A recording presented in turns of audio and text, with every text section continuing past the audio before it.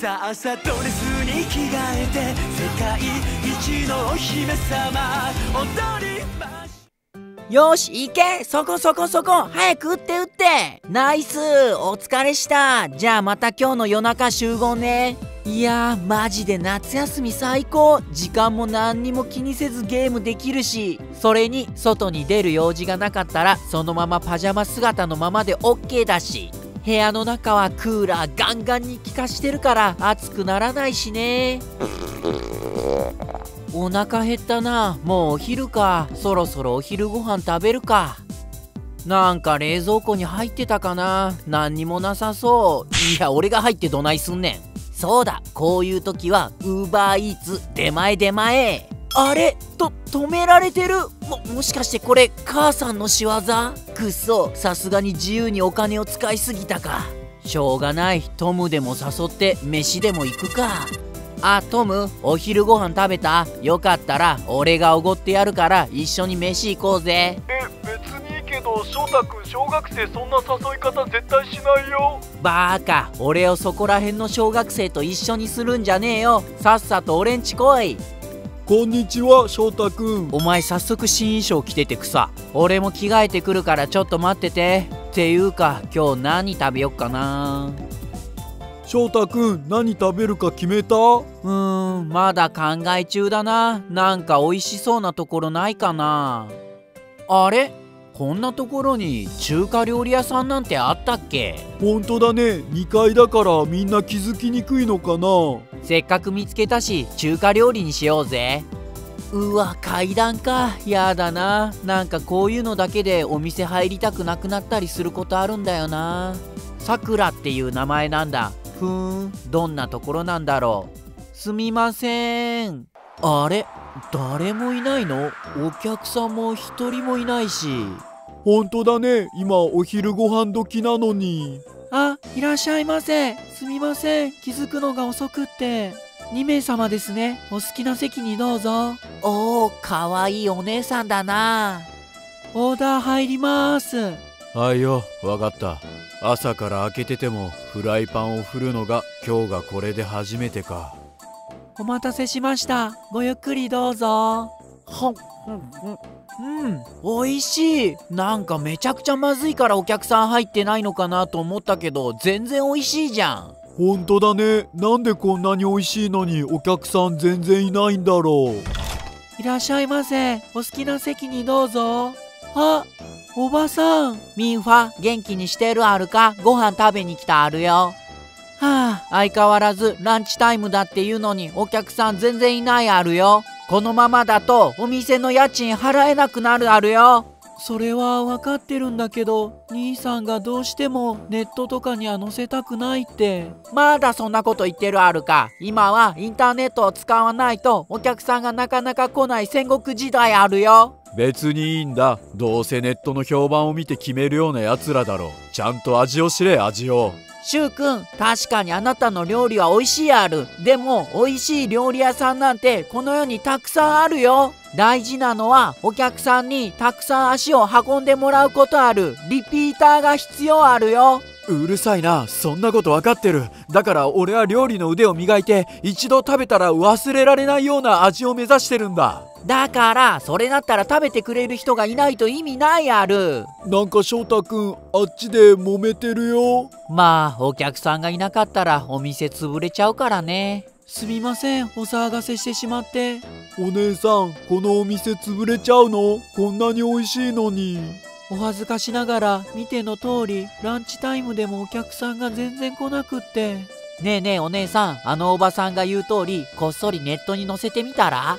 実は私もこっそりグルメ系のインターネットに載せようと思ったんです。でも載せるのにもお金がかかるって聞いて。なるほどね。それもそうだよね。しかも載せたところで他のお店だってみんな載せてるんだから急にお客さんが増えるわけないし。そうだお姉さん。僕がすぐにお客さんが来る方法教えてあげよっか。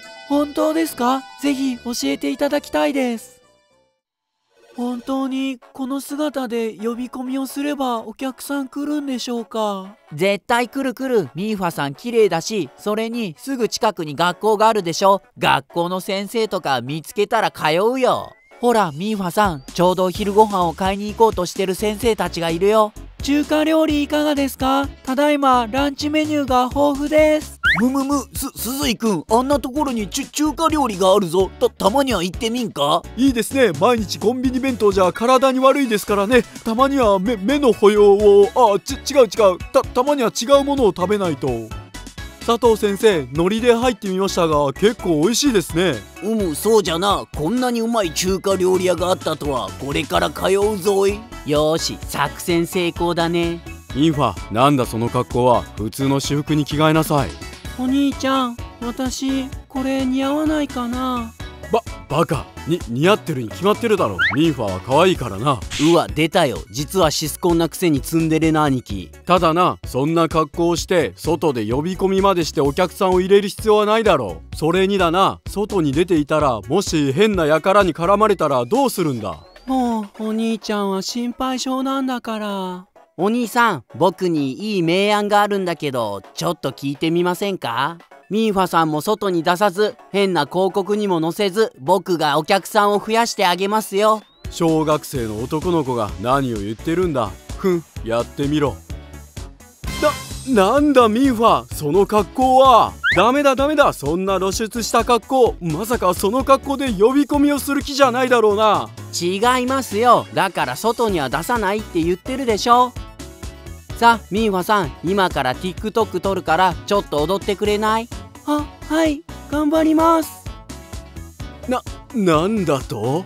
急に少し若い男の子たちが入ってくるようになったいらっしゃいませ。ご注文をどうぞ。ええー、と俺はミミーファさんのおすすめで。それでしたらランチタイムにはお得な北京ダックセットがありますよ。じゃあ俺それ頼んじゃおっかな。北京ダックセット2つ入ります。ランチタイムで一番高いセットじゃないか。よしよしいい感じだな。うーん。でもカウンターも埋めたいよな。ねえねえお兄さん。お兄さんも着替えてよ何をバカなこと俺が着替えても特に何もないだろまあまあいいからいいから。あー最高。ここのカウンター席神。あの服かわいいよね。イケメンの人が着てたらなお。交差点走り終わった後絶対来よう。翔太くん大成功だね。ありがとう。いえいえお二人ともかっこいいし可愛いからですよ。ふんくだらんこんなことで来るような客なんてただ見たいがために来る客だろそんな外見だけで判断するようなミーハーな客うちにはいらん。いや料理人のあんちゃん美味しい料理作ってくれてありがとうね。最初はぶっちゃけミーファちゃんが見たいがために来たけどこんなに美味しいんだったらまた通わせてもらうよ。料理も美味しくって店員さんも可愛いなんて最高のお店だな。あありがとうございましたお兄ちゃんなんだか嬉しそう。翔太くん初めからこうなるの分かってたんだね。当たり前だよ。だってお兄さんの料理本当に美味しいからね。あくまでも TikTok とか SNS はお客さんを呼ぶためだけのツールにしか過ぎないよ。料理屋さんなんだから最終の決め手は料理の味なんだからね。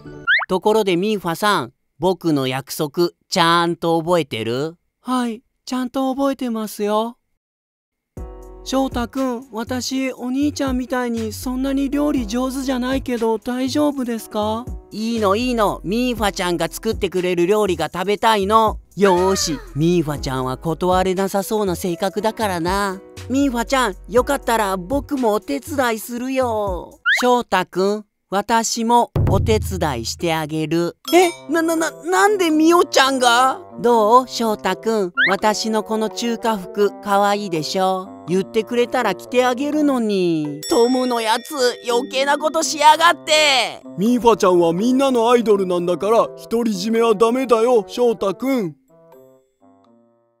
動画見てくれてありがとうな。チャンネル登録と通知ボタン高評価もよろしく。Twitter もやってます。概要欄にリンク載せてるからよかったらフォローしてな。次の動画でも会えんの楽しみにしてんで。明日も元気に頑張ろなバイバーイ。